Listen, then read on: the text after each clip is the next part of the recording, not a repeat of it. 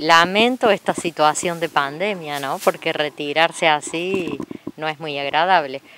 Pero bueno, decirte que 35 años como profesora, viniendo todos los días a la escuela y 26 años en la gestión directiva, más 15 años en forma paralela en los reartes.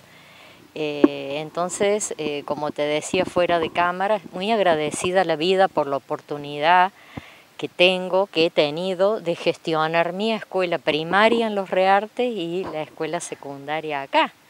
Eso le da un plus porque uno es ahí donde pone sentimientos, emociones.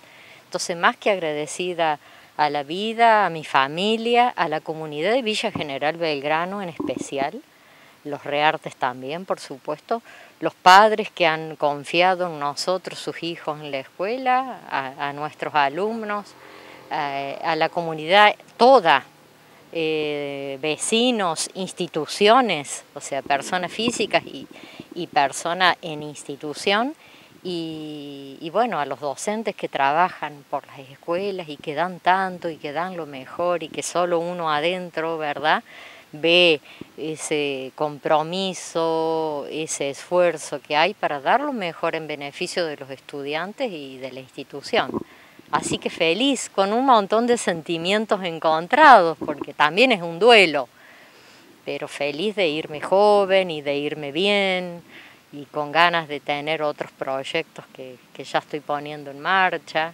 Y bueno, y he hecho mi vida aquí. Mis hijos han crecido, eh, he venido embarazada a la escuela y mis hijos se han puesto grandes y han volado y yo he seguido viniendo a la escuela y hago un parate y digo, hace 35 años que estoy viniendo acá todos los días.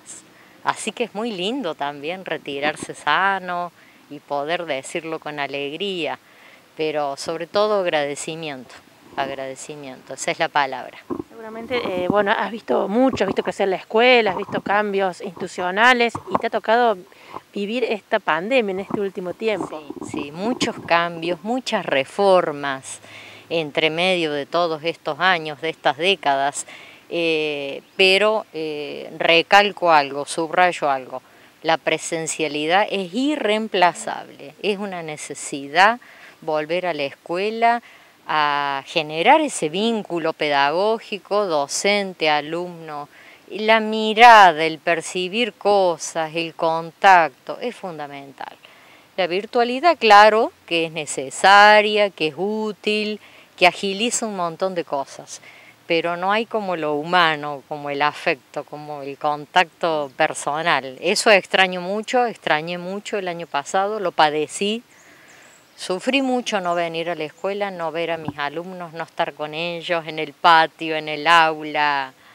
Bueno, eh, pero bueno, son situaciones que nos han tocado vivir y cambios que se vienen y por supuesto le queremos ver la parte positiva porque todo tiene un aspecto positivo. Por ejemplo, hemos aprendido mucho eh, de lo que es la virtualidad. Hemos eh, aprendido muchas estrategias y nos ha dejado mucho aprendizaje, que es lo más lindo, eh, colaborativo en equipo. ¿Quién quedará a cargo de la escuela, de la dirección? Queda a cargo el profesor Lupino, que está hasta este momento en vicedirección, y se nombrará vicedirector o apoyo de dirección todavía no está definido? No está definido, eso se va a definir en marzo, pero muy contenta, muy agradecida con el profesor Lupino porque al tantos años al hacer que, estar que estamos trabajando juntos, entonces hay una misma línea de acción, de, de, trabajo, de gestión, y bueno, y conoce la escuela, conoce la gente, las personas, su modo de trabajo, Así que eso es muy positivo, ¿no? Cuando viene una persona de afuera que todo es nuevo, eh, entonces... Va a haber continuidad. Exacto, exacto. ¿Cuándo empiezan las clases? Las clases empiezan el primero de marzo. ¿Ya no vas a estar? Ya no voy a estar, yo hoy es mi último día. Eh, en este momento estamos vinculados virtualmente. empiezan las clases con una dualidad. Eh, un poco presencial y un poco virtual, excepto lengua, matemática e inglés que va a ser presencial.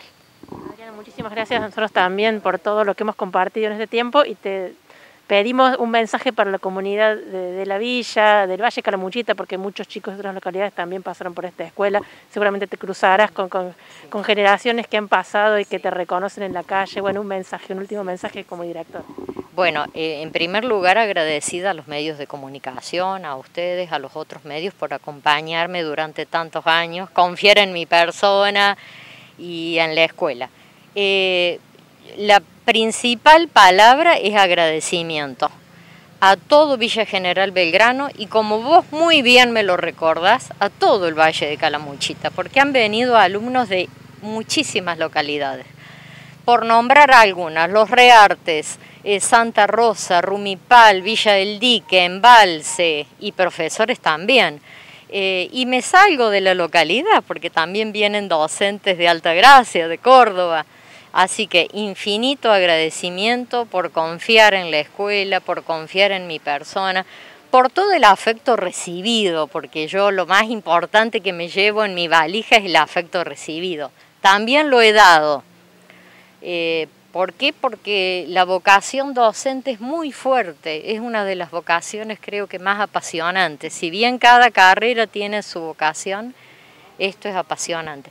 Quiero agradecer a todas las cooperadoras que han formado parte de mi gestión, a ese puñadito de padre que ha trabajado en beneficio de la escuela, a los centros de estudiantes, a los alumnos, a los padres, a los profesores, bueno, a las personas, a las instituciones. Realmente muy agradecida por toda la colaboración y, por confiar en una escuela pública, porque la escuela pública, yo siempre digo, me le saco el sombrero a las escuelas públicas, porque todo es a pulmón y a corazón. No hay dinero, no es todo, vamos a remar, vamos a hacer un bingo, vamos a hacer una pollada, y uno está pensando siempre en lo pedagógico y en lo edilicio. Así que muchas gracias a todos.